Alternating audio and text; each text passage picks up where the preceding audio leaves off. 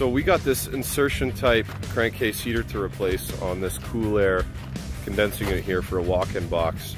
So we're gonna get this done. What we gotta do before we put this in is check the resistance on this heater before we put it in because we wanna make sure it's not shorted or open before we put it in the system and turn it on.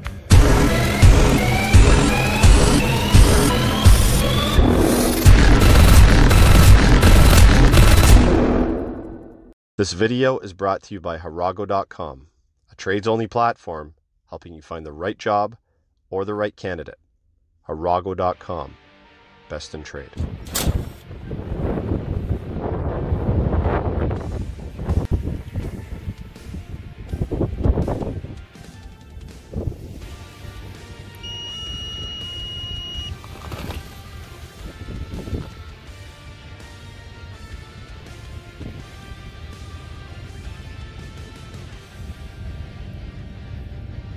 Yeah, that looks good.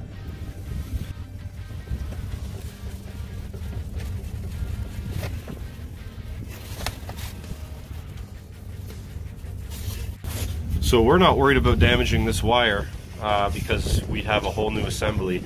And the reason it's so tough to come out is because there's some thermal grease on there, basically uh, paste that helps conduct heat, and that's what's making it a little bit tough to slide out. All right, so the new heater came with some thermal grease and we've coated the entire thing. We're gonna slide it back in and then we're gonna wire it up. It actually gets wired into the compressor compartment right here. And then we're gonna take an amp draw and test it out.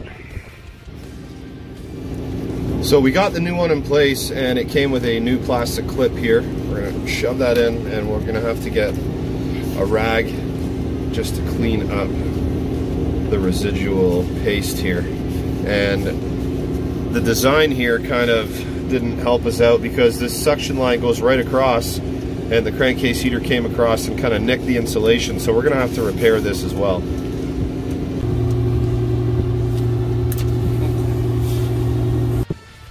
So we have the new heater installed and it's wired into this compressor terminal and we are drawing 0.6 amps so the heater is working the way it should be.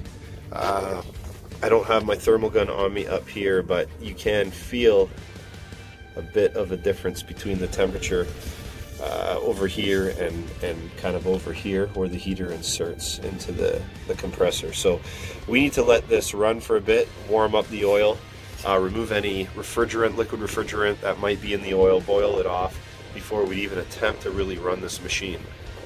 So guys, crankcase heaters are extremely important in a lot of different applications. Now you gotta remember that refrigerant likes to move to the cold locations of the system. So let's say for instance, we have a, a walk-in box uh, that is 40 degrees, okay, 35 to 40 degrees Fahrenheit, but it is colder outside. That refrigerant's gonna wanna move to the outside and it's gonna wanna hang out uh, at the condensing unit outside. So the crankcase heater gets inserted into the compressor. It keeps the oil warm, okay? Um, it also boils off the refrigerant, any liquid refrigerant from entering into that oil. So when we start that machine up, we are starting it up without liquid refrigerant in the oil. A lot of manufacturers, once you install their unit, before commissioning, they want that crankcase heater powered up for 24 hours beforehand, before they'll even come to site. That was a recip compressor we were working on, okay? Recips can get severely damaged from from liquid. I've seen valve plates that are made out of metal um, just completely demolished by liquid refrigerant um, being pumped up the cylinder into the valve plate. Scroll compressors, yes, they can take a little bit. They can take a little bit more liquid, but a recip.